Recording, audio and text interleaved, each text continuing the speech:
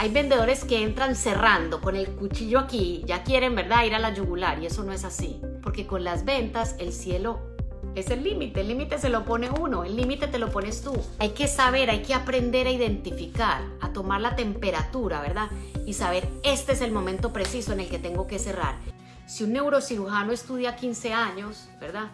Para ganar de pronto 400 mil dólares al año, ¿por qué tú no vas a estudiar las ventas que te pueden generar todavía mucho más? Hay que estudiar, ¿verdad? Entre uno más ponga aquí, más va a tener en el bolsillo. Ok, entonces, Después de que yo contesto todas las objeciones, yo tengo que aprender a identificar el momento de cierre. Yo le digo a la gente, ustedes se imaginan que a uno, pues cuando yo estaba soltera, una mujer soltera la invita a un hombre a salir y en la primera cita le saca un anillo y le pide matrimonio. No veas, uno sale corriendo y como dicen en mi tierra en Medellín, uno pagaría escondidijo a peso para no volver a ver a ese hombre. Uno dice, ese hombre está loco, ese hombre cómo se le ocurre, ese hombre sí o no, me pidió matrimonio y lo acaba de conocer. No, no, no, pero también pasa lo contrario. ¿Qué tal la mujer que lleva 5, 10, 15, 20 años de novio y el hombre nada? Nunca le sacó el anillo hasta que la mujer se le fue, ¿sí o no? Entonces lo mismo pasa con la venta.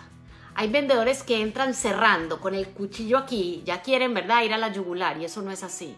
Las estadísticas dicen que el 80% de las ventas se cierran entre el quinto y el doceavo contacto. Obviamente, cuando son ventas un poco más grandes, si es una venta de 20 dólares, pues lo puedes hacer en un contacto.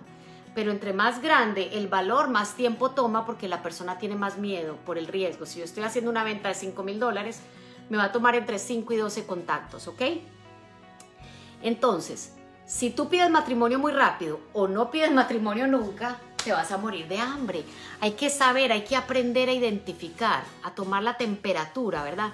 y saber este es el momento preciso en el que tengo que cerrar. Y en ese momento tú cierras. Al vendedor le corresponde cerrar. Chicos, la gente no se cierra sola.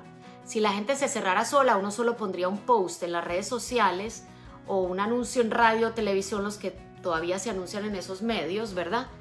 Que cuestan bastante porque la gente iría y se cerraría sola. No, por algo las empresas tienen vendedores, porque es tu trabajo y es mi trabajo cerrar, ¿verdad? Me acabo de acordar de Sharon, una de nuestras alumnas de New Jersey, que creo que por ahí me saludó. Eh, ella le costaba mucho cerrar porque o cerraba muy rápido o nunca cerraba, entonces le decía, tú me llamas y se quedaba patinando y nunca cerraba la vaina. Entonces ella con nuestros cursos se dedicó a aprender y aprender, a aprender a identificar el momento de cierre y a cerrar. Y yo estoy muy contenta con Sharon porque ella empezó con nosotros en enero y a pesar del COVID y todo, también empezó con muchos problemas. Sé que le costó incluso poner el dinero para el curso. Dice, Margarita, en el último mes gané 8 mil dólares en ventas, que para ella eso es un cambio de vida total, ¿verdad? Porque estaba súper mal cuando empezó y estoy segura que va a seguir ganando más y más y más, ¿verdad? Porque con las ventas el cielo es el límite, el límite se lo pone uno, el límite te lo pones tú. Pero para eso, como les digo, hay que saber el enfoque profesional. Entonces, ojo con esto. Yo creo que a ustedes o les ha pasado o han visto un vendedor eh, novato cometer ese error. Cuando llega el momento de la venta, de la, del cierre, el vendedor se pone nervioso y empieza a vender otra vez. ¿Han visto? Entonces digamos que el cliente le dice, sí, quiero el apartamento del tercer piso. Qué bueno que quieres del tercer piso, porque es que desde el tercer piso se oyen los pajaritos toda la mañana. Empieza a vender otra vez y dice, pajaritos, a mí me dan miedo los pájaros, ya no te lo compro. Se enredó en su propia lengua. ¿Conocen?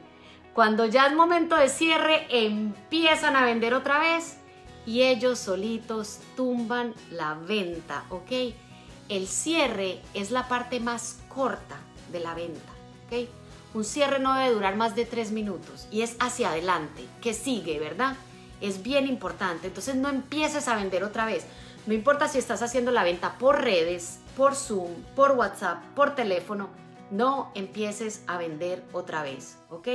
Es bien importante entender, hay cinco tipos de cierre que son muy efectivos.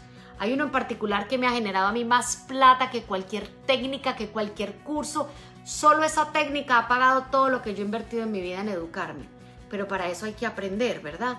Les voy a enseñar uno de los cinco que también es uno muy bueno que a mí me gusta, es el cierre por preferencia. Ojo, ¿Va a comprar? No es una pregunta de cierre. ¿Va a comprar? No, déjame pensarlo. Voy a preguntarle a mi esposa. Tú mismo te estás enterrando el cuchillo. ¿Lo va a querer? No, no sé, déjame pensarlo, eso no son preguntas de cierre. Un ejemplo de una pregunta de cierre, les voy a enseñar el cierre por preferencia, que es muy bonito y siempre funciona. Siempre trata de darle de dos a tres alternativas al cliente, no más, porque más de tres confunden. Si tú me das 20 opciones, la mente empieza como a computar y no entiende, se confunde y te dice, después hablamos. Dos o tres opciones máximo. Entonces, cuando yo, que ya me convertí en una experta en identificar el momento de cierre, sé que es momento de cierre, hago un cierre por preferencia y le digo, señor cliente, ¿va a querer el paquete A o el paquete B?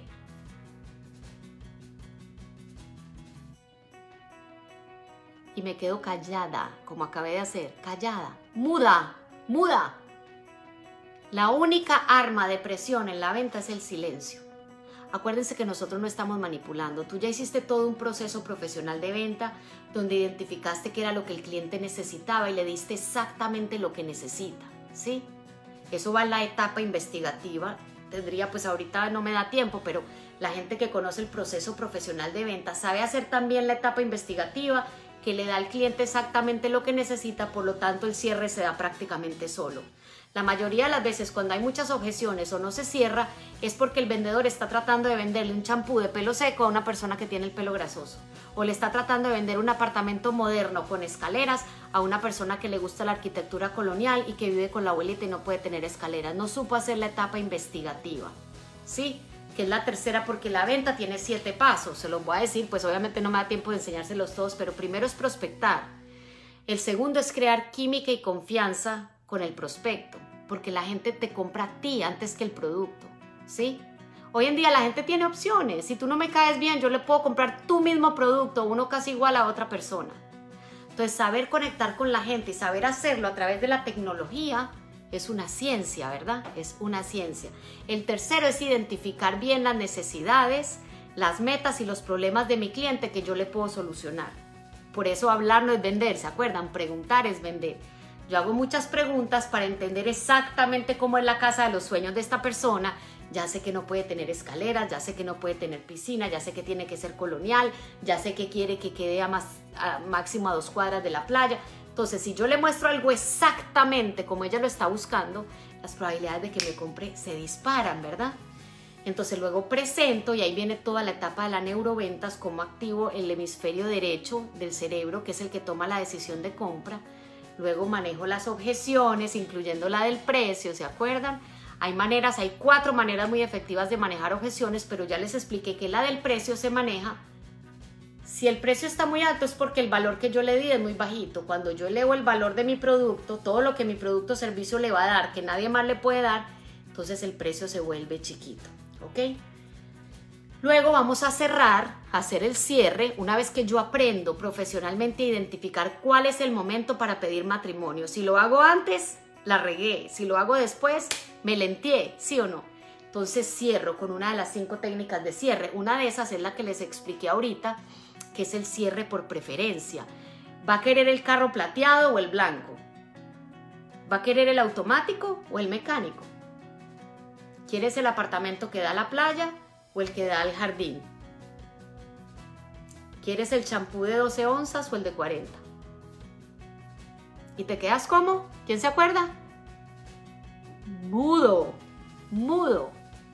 Dicen que el que habla primero pierde. Cuando él me dice, quiero el de 12 onzas, ya se cerró. Le digo, perfecto, entonces te voy a pasar una factura, te voy a pasar un link de pago, dependiendo de por qué plataforma estás vendiendo, y sigues para adelante. No te vayas para atrás a vender otra vez. Qué bueno que compraste el de 12 onzas porque ese es el que le gusta a mi abuelita. Tu abuelita me cae mal, ya no te compro. O sea, es increíble cómo se enredan en su propia lengua.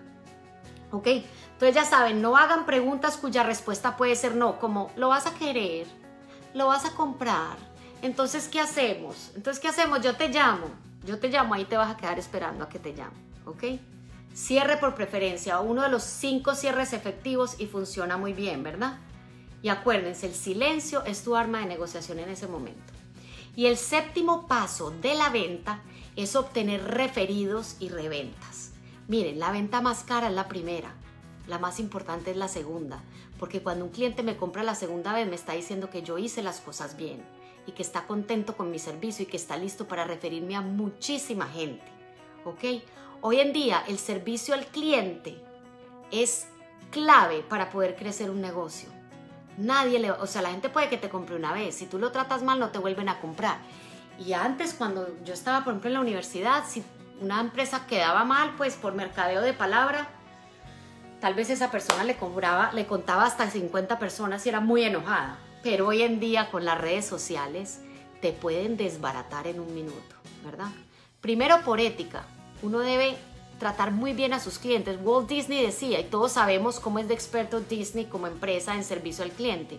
Walt Disney decía, trátalos tan bien que quieran regresar y traer a sus amigos. Entonces eso es bien importante.